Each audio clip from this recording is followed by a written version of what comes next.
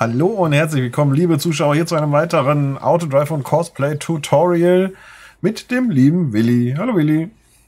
Hallo Mario. Ähm, ja, ihr habt beim letzten Mal gesehen, dass wir hier geschwadert haben und der läuft auch gerade noch. Jetzt haben natürlich einige gesagt, ja, clever wäre natürlich gewesen, wenn man ähm, die Feldbahn zuerst gemacht hätte und dann die Außen, die Vorgewände. Auch das stimmt, das hätte man gut machen können. Dann würde der jetzt hier nicht ins Vorgewände reinfahren und da auch noch mitschwaden. Aber ähm, das ist eine Feinheit, die könnt ihr gerne machen. Wenn ihr das nicht gesehen habt, dann klickt gerne oben in die Ecke. Da habe ich weitere Videos verlinkt und natürlich auch das, die Nummer mit dem Schwaden. So, warum stehen wir jetzt noch hier und zeigen euch das? Das liegt daran, dass wir eben genau diesen Kurs hier wieder brauchen. Das ist Feld 10, 14,8 Meter. Den werden wir jetzt nämlich verwenden. Und zwar werden wir hier in diesem kurzen Tutorial den Ladewagen fahren lassen. Ähm, und der sammelt dann erstmal das Heu ein. Wo der euch das hinfährt, das könnt ihr entscheiden. Wir lassen jetzt erstmal einfach nur ins Silo abfahren. Das heißt, ähm, Kombination Cosplay und Autodrive wieder mal. Ich habe jetzt hier einen Ladewagen dran. Stelle den jetzt mal eben hier vorne hin, dann kann er direkt vom Shop aus losfahren. So, und dann möchte ich, dass der eben ähm, abfährt, also abholen, abliefern macht. In dem Fall möchte ich, dass der am Feld 10 abholt und im Silo, also mal gucken, Silo abladen, ablädt. Und zwar nicht das, sondern Heu. Das ist das, was auf dem Feld liegt. Und bei Cosplay werde ich das so einstellen. Also eigentlich kann ich den schon fahren lassen, ne? Oh. Ja, ich lasse den schon mal losfahren. Ich übergebe hier noch an Cosplay, also dieser Button, ne? Denkt dran. Mal gucken, der wird wahrscheinlich schneller an Feld 10 sein, als ich das hier einstellen kann. Ich wollte es gerade sagen, jetzt musst du aber mit der Maus Gas geben. Ja. So. Ähm, Moment, da. Alles klar.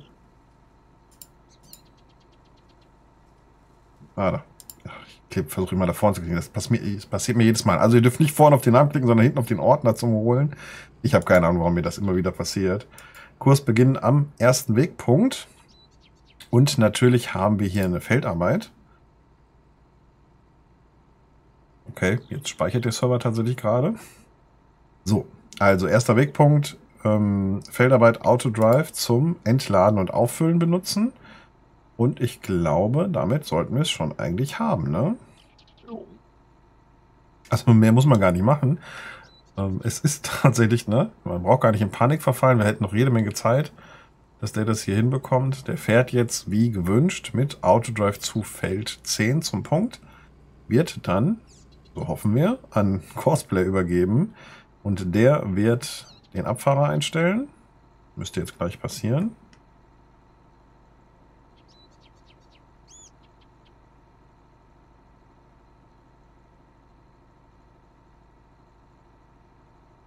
Ach so, der fährt so langsam, weil der...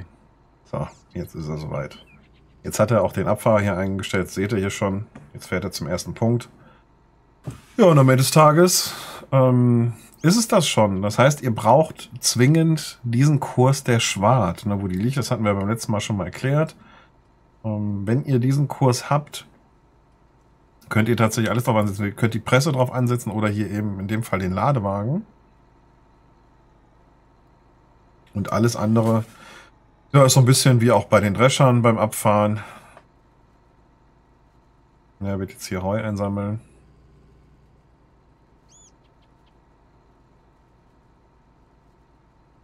Das ist am Ende des Tages so simpel, ne?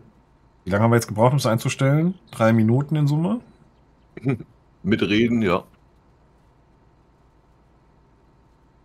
Also würde es tatsächlich ähm, noch deutlich schneller gehen. Ja, und damit könnt ihr das Heu, wie gesagt, zu jedem Trigger fahren, überall da, wo ihr das Heu weiterverarbeiten wollt. Ähm, könnt ihr es hinfahren. Ihr könntet es theoretisch, wenn ihr sagt, ihr wollt direkt vom Heu in die, äh, vom Feld in die Stelle fahren, gibt es ja auch oft, dass man Heu oder Gras frisch auf dem Feld liegen lässt und das dann direkt in die Stelle fährt. Und dann könnte man einen Rotationskurs machen zum Abladen bei Autodrive und dann entsprechend in drei, vier, fünf Trigger reinfahren lassen. So in meinem Wechsel würde der immer frisch vom Feld holen. All das könnte man tun. möchte jetzt halt noch, dass wir das sehen, dass die Übergabe wieder zurück funktioniert. Ähm, deswegen brauchen wir noch äh, ein wenig Zeit. Wir können aber schon mal ähm, anteasern. Also zum einen natürlich Däumchen nicht vergessen. Ne? Dann ähm, sehen wir auch, dass es bei euch geklappt hat. Schreibt uns gerne was in die Kommentare dazu. Ich weiß, dass das die einfache Variante ist und ich weiß auch, dass man ganz viel noch machen kann mit mehreren Geräten. Ähm ich sage euch aber auch ganz ehrlich, ich nutze tatsächlich diese einfache Variante und wenn ich zwei, drei Geräte fahren lassen möchte, dann stelle ich die einfach nicht beim ersten Wegpunkt an, sondern irgendwo mittig auf dem Kurs. Na, ihr könnt den ja anstellen, wo ihr gerade wollt, auf nächst gelegen klicken und dann lasse ich die so durchfahren. Habt die ein bisschen im Auge, wann die dann fertig sind. Aber dann ähm, kann man auch während der Arbeit auf dem Feld noch entscheiden, ob man das mit zwei, drei oder vier oder dann wieder welche abziehen möchte. Da ist man so ein bisschen variabler. Wenn man das im Verband macht, dann musst du halt irgendwie immer dafür sorgen, dass dann auch die Verbandanzahl stimmt. Jo, ewige Einstellungsklickerei. Genau, das kommt auch noch dazu, ja.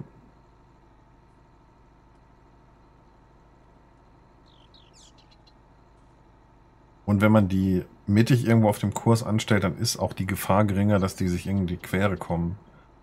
Bei der Verbandnummer kann es schon mal sein, dass die sich in die Quere kommen. Selbst wenn man eingestellt hat, dass die im Verband fahren. Was ich noch praktisch finde, wenn ich jetzt ein Gerät habe mit 12 Meter Arbeitsbreite und ich habe schon gerade einen Kurs mit 10 Meter fertig für das Feld, mhm. kann man ja zur Not auch mal so einnehmen. Und diese für zwei, drei, vier, fünf im Verband kommt ja noch dazu. Ich muss ja immer für jede Anzahl der Fahrzeuge, die im Verband fahren sollen, äh, muss ich mir einen eigenen Kurs abspeichern, der die passende Breite hat. Ja, genau. Und mit denen kann ich ja sonst auch nichts mehr anfangen, weil dann habe ich nur eine von fünf Bahnen bearbeitet und habe dann immer vier Bahnen nix. Richtig, ja. Auch das ist da durchaus relevant. Ja, deswegen macht euch das nicht zu schwer und macht es nicht zu komplex. Ja, kann man alles machen, ohne Frage. Und die super mega Autodrive-Profis, davon haben wir auch viele Zuschauer, die da immer wieder reingucken. Ähm, das finde ich auch cool, dass ihr auch dann noch mal ein paar Ideen habt. Bringen uns ja auch weiter. Ne? Wir zeigen ja dann auch schon mal ähm, etwas tiefer gehende Videos. Aber es ist natürlich auch so, dass man, gerade wenn man damit startet oder noch nicht diese Version gemacht hat, dass man mit der simpelsten Version anfängt. Und das hier ja, kann man schon gut sagen. Das ist die simpelste Variante. Also ihr seht, er kippt jetzt hier das Heu ab und jetzt wird er gleich zum Feld zurückfahren. Und sobald der den Punkt erreicht hat, wo er mit Cosplay wieder ansetzt, sollten wir auch mit der Demonstration hier durch sein. Ne? Aber wir können schon, äh, schon äh, spoilern. Das nächste Video, da werden wir den tatsächlich austauschen, diesen Ladewagen, durch eine Ballenpresse. Und ähm, ja, dann werden wir das auch nutzen, weil wir euch auch noch zeigen wollen, wie man mit CP Ballen einfährt. Aber Willi, das können wir schon mal auch ganz ehrlich sagen, da werden wir noch erstmal ein bisschen testen, ne? Damit wir. Oh. Wir wissen ja noch gar nicht, ob denn Cosplay und Autodrive mit der Ballenpresse die Ballen direkt hier in Silo abladen können. das stimmt. Da fehlt tatsächlich der Autodrive-Helfer, der mit Vorschlaghammer die Ballen durch das Gitter durchschlägt. Hier alles noch an Geräten stehen haben. Ja. Guck das mal an.